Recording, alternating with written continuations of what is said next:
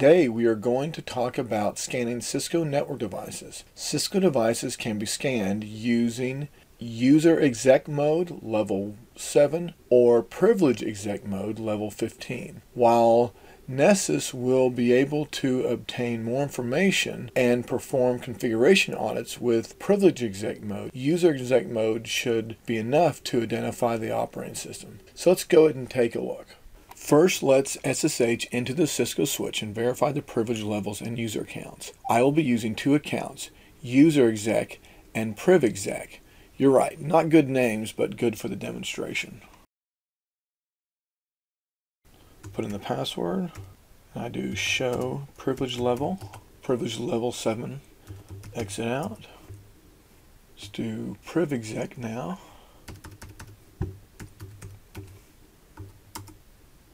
Show privilege, privilege level 15. Okay, let's log into Nessus.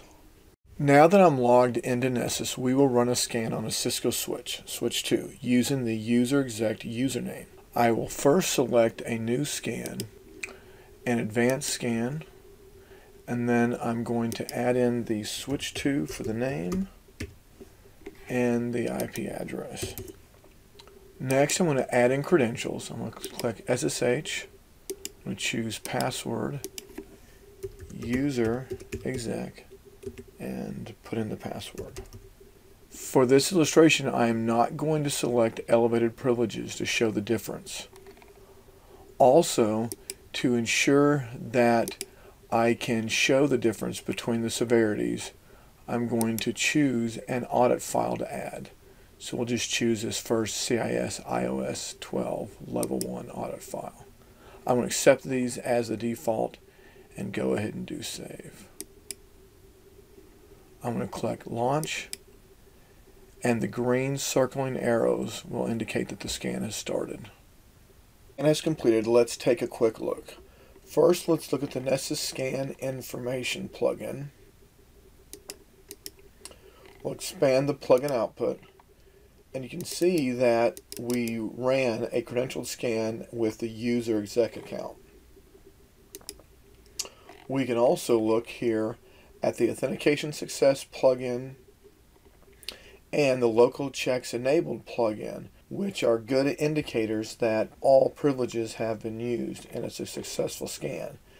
But if you notice, there is not any audit data or compliance data tab. So let's go ahead and edit our scan again.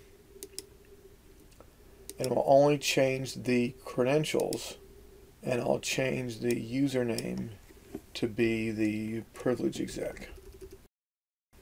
We'll verify the compliance audit file. The audit file is still there. Okay, so we'll go ahead and save. Go to the scan report and launch our scan. The scan is running.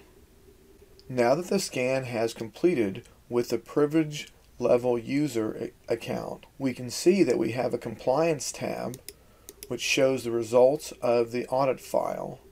We can also Compare the two scans together by selecting more than one scan and selecting the diff option. You will see that we have the compliance checks and four vulnerabilities that returned a different result.